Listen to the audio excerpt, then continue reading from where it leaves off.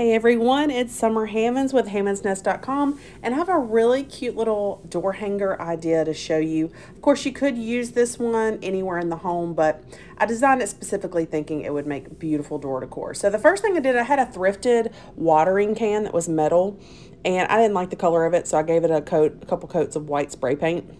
And then I have this round circle that is going to be the base for our design. And I'm going to go ahead and stain it. And I made a custom stain with chocolate chalk paint, like a chocolate color of chalk paint. And then I watered it down and just kind of created my own stain. You've probably seen me do this before. Um, I like it because I can easily work indoors with it. And it's water-based and no toxins and all that kind of good stuff. So no fumes. But all I do is brush it on there and then wipe it back with a clean rag. And once I get this circle covered, by the way, this wood circle is 18 inches round. So if that kind of gives you an idea, it's a pretty good size door hanger. I'm going to go ahead and knock off the edges, knock out the edges here too. And once we let that dry for a little while, I'm going to go ahead because I know what I'm going to be layering on this door decor piece. I'm going to go ahead and seal it. And I have a water-based sealer that's called Gator Hide. And it's just a polyacrylic. So it's going to go ahead and seal in my stain color. Because you'll see in a minute all these embellishments that we're adding it would be kind of hard to seal the wood after those are put on so that's why I'm doing it before. And once that is dry we're going to go ahead and we're going to grab that watering can because it's had some time to dry. And it is metal so do be careful. I have my drilling block underneath it to catch the drill bit and I just drilled a simple hole. And I'm going to actually use a little bit of hot glue on the back to kind of help hold it in place where I want it. But what's really going to hold it in place is me taking an angled screw that will not go through the back and just, like I said, putting it in at an angle and that holds it into the wood. So next I have a bunch of different kind of faux flowers and I just kind of, here I'm going to kind of fast forward because you don't want to watch me clip all of these off and figure out where all they're going to go. But I just had this pretty variety and I thought the colors all looked really good together. I think that this concept could be adapted to any season. You know, you could think fall colors, Christmas, something that you could have um, and I just think it was really beautiful. So all I did was laid out all my faux flowers where I wanted and kind of had the idea that they were spilling out or being watered by the watering can. So the way we're going to turn it, you'll see what I'm talking about.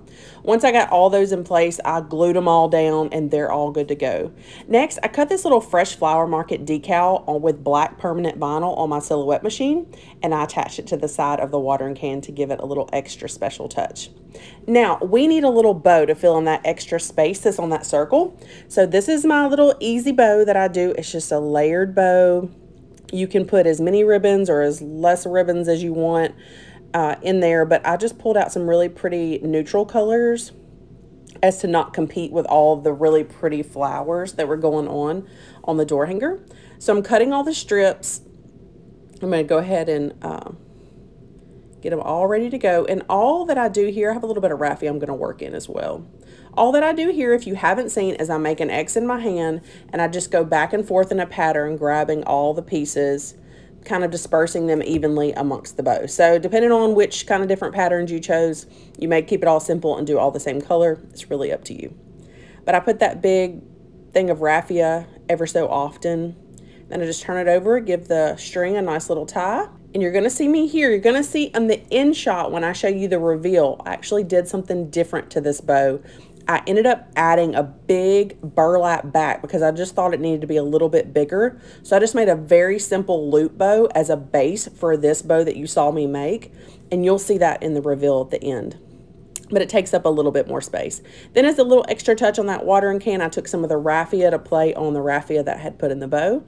Did a simple loop bow and then also I took some white chalk paint with a palette knife. You're not going to see me do this. I took some white chalk paint with a palette knife and I did some rough border edges along it. I thought it needed something after I hung it up and started to take pictures of it. And that is the beauty of crafting. Sometimes you're like, oh, a little, little more of this, little less of that. So you'll see the white border that was added and you'll see the big burlap bow base that was added behind our bow that we made. And I think it came out so cute. I think this concept could be adapted, like I said, to many different seasons. I hope you're inspired to make one. If you do, of course, I would love to know. Y'all have a great day.